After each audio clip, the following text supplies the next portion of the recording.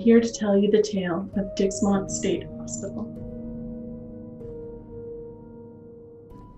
Dixmont State Hospital was opened in 1864 during the last year of the Civil War, and it stayed open till 1984. It was once called Department of the Insane in the Western Pennsylvania Hospital of Pittsburgh. It had 37 buildings, two ballrooms, a morgue, and laundry chutes that connected each of the buildings underground. It stood open for 120 years 120 years of happiness, 120 years of sadness, and 120 years of insanity. It was eventually demolished in 2006. It stayed abandoned for 15 years. And during those 15 years, those playgrounds, those underground laundry chutes, and that morgue became a playground for local teenagers and ghost hunters. One of the favorite activities if you were a teenager playing around or even a ghost hunter would be to go into the morgue, to open one of the drawers, and to sit in and have someone close the door and sit on those big slab trays and see if you could hear anything around you. Sometimes you would hear pounding. Sometimes you would hear a whisper in your ear, or maybe something would whisper your name. But about 10 years into this being a playground, the ghost hunters and the teenagers started to notice something. They started to notice a man guarding the morgue to make sure they didn't go in. And when they went up to this man or they would hide from this man, they noticed he would slowly disappear, as if to preserve the memory of all those that died there, saying, This is not a playground. This is not a place to ghost hunt. This is our sanctuary.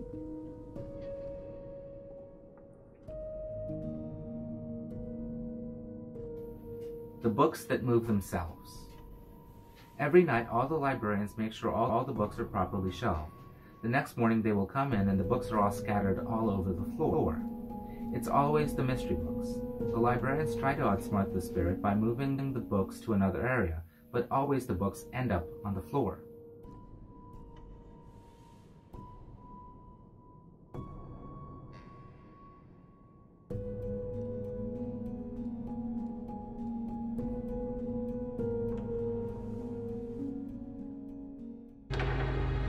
Now present to you the tale of the painter and the priest. For my story, I've actually come to the scene of the haunting itself. St. Nicholas Catholic Church here in Millvale, site of the world-famous Maxo Vanka murals. Those murals happen to be the heart of our story itself. In 1937, Maxo Vanka was hired to paint the murals in this church. He asked but one thing. He be left alone from sundown to sunup while he paints his murals. The priest quickly agrees to this. The ghost of St. Nicholas is not. Four nights go by. Four nights of peaceful painting. On the fifth night, Maxo Vanka notices a figure start to work his way up the aisle, going towards the center, the altar that you can see right there. He doesn't say anything, he thinks it's the priest just doing a nightly ritual. Then, he, as the man walks down the aisle, he gets to the final set of doors and vanishes into thin air. Every dog in Millvale barks in unison. So unusual that Maxo Vanka noted it in his diaries. He's freaked out, but doesn't want to give up the lucrative task he's been assigned to cover the church and murals, so he continues to paint. A few more nights pass. Four more nights, four nights of painting.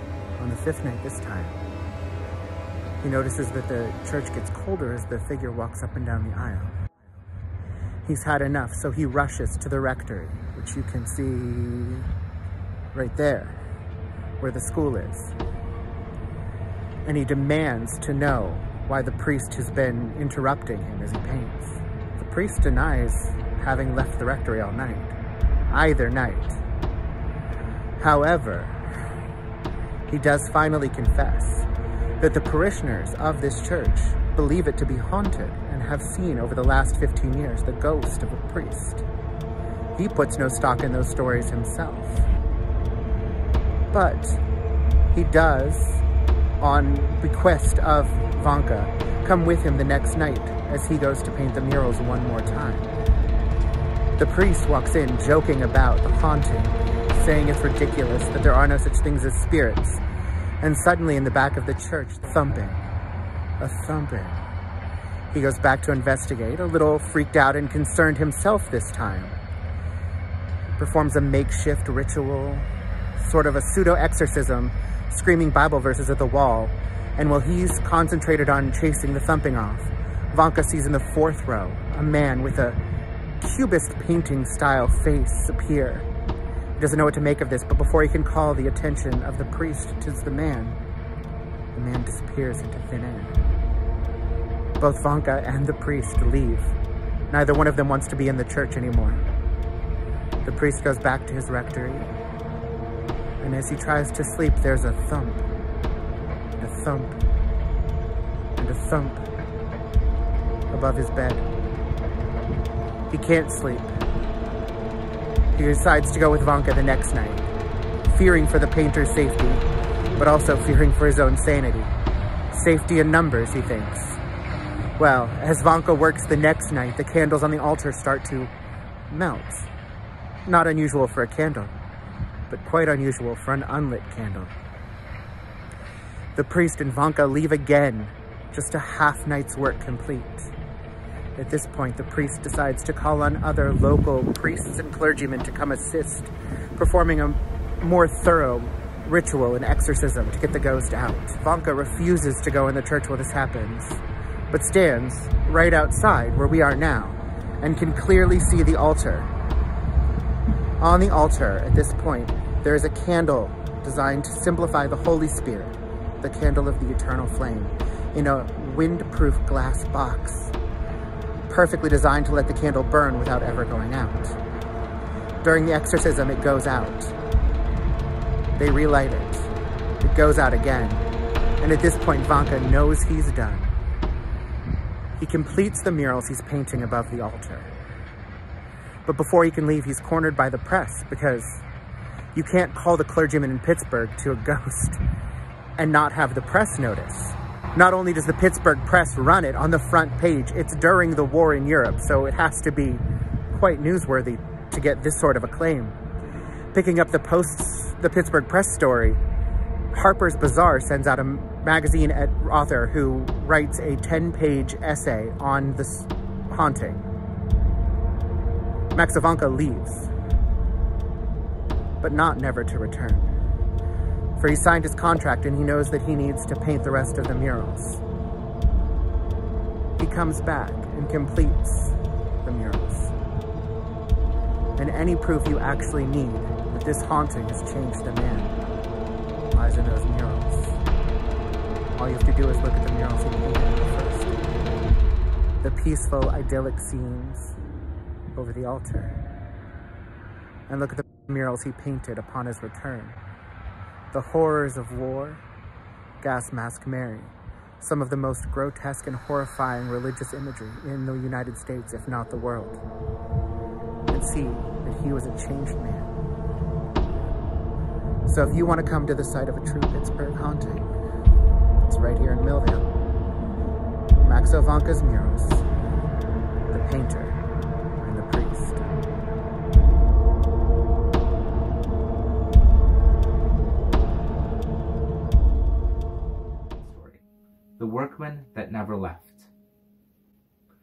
A staff person in the basement saw a man standing next to the electrical box. As, as the library staff went to approach the man, he suddenly disappeared. The staff person asked his supervisor why someone was in the basement, which is off limits to patrons. The supervisor told him in a whispered voice.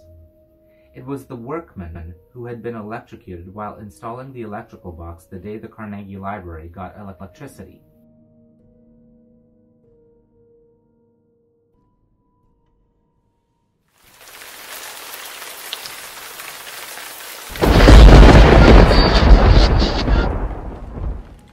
House has been a haunted house staple of Pittsburgh for years and years. And the previous location was in Etna, PA, just about 10 minutes from downtown Pittsburgh. It was located in an over 100 year old historic and haunted building. It was home to Etna Elks Order number 932. It, was, uh, it also used to be the home of many miners in the early 1900s. I've been attending Scarehouse since I was about 11 years old, and I've worked there for several uh, years now in different positions, including a scare actor, a scenic builder, and in the summer of 2018, I was the marketing and communication intern. Scare House has a fairly small crew throughout the summer, mostly people doing marketing and, you know, building endeavors, stuff like that. Because of this, the large building remained mostly empty, other than five or so employees and the horrifying monsters creeping around every corner. I worked there for about a year at this time, and I was used to the creepy things that I would see on a daily basis. A murderous clown, typical Tuesday for me. For years, I'd heard that the building was haunted. To me, it felt like lore. It was just to scare the customers coming in. But one dark August day, that all changed. About a week prior to that day, I lost my, uh, my wristband. It was similar to a Livestrong wristband. Couldn't find it anywhere. And then my manager told me to go move some stuff down in uh, the, the basement area. It's another one of their haunted attractions. So I was walking around and walked down the steps and then down to the other side of the basement. And I looked down and I saw my bracelet just laying on the ground right there. Funny thing is, I hadn't been down over there for over a year at that point. The last time I was down there was when I was working down there as a scare actor. So I thought, that's odd. Maybe it just got kicked around or something. I leaned over to pick it up, and as I did, I received a phone call. There was no caller ID. I answered. All I could hear was heavy breathing. Just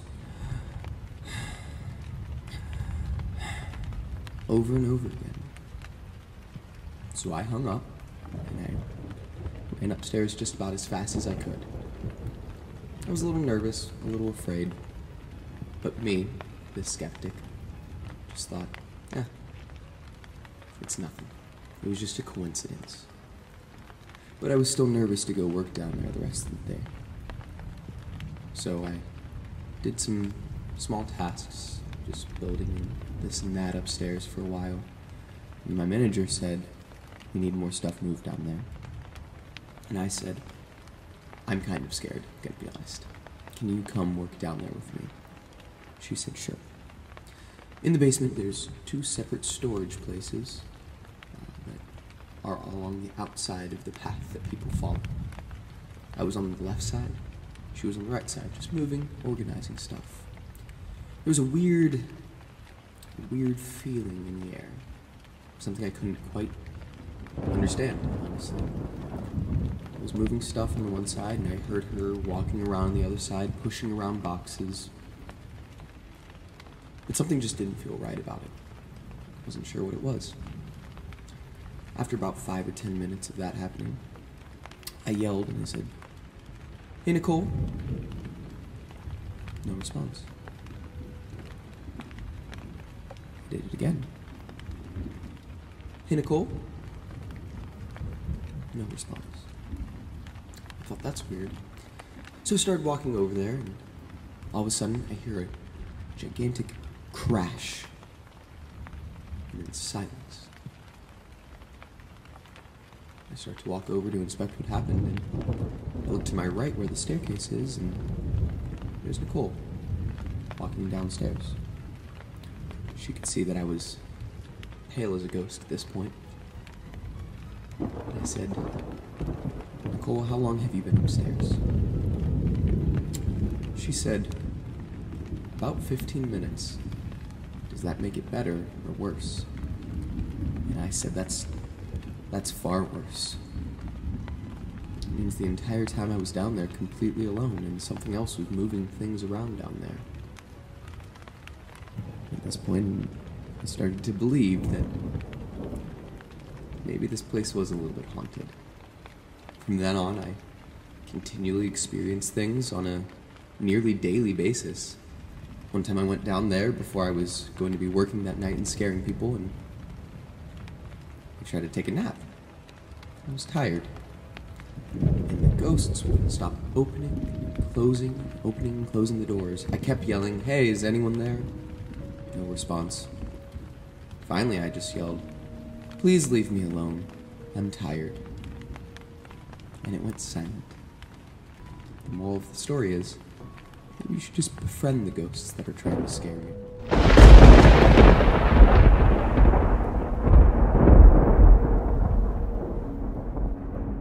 First, the judge was here. A local city judge frequented the library after it opened in 1895. He was a regular visitor, often seen among the stacks. One day in the early 1900s, for reasons unknown, he hung himself in the stacks. His body was found and removed. Then the staff reported seeing mysterious writing appear, but the writing wasn't at the level any human hand could reach. It was high up on the ceiling, near, the spot of the hanging noose. The writing is always the same Sentitio est hic, Latin for the judge's here.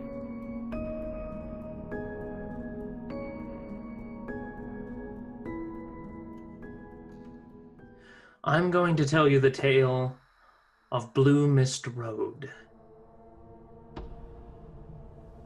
Now, some people don't know what Blue Mist Road is.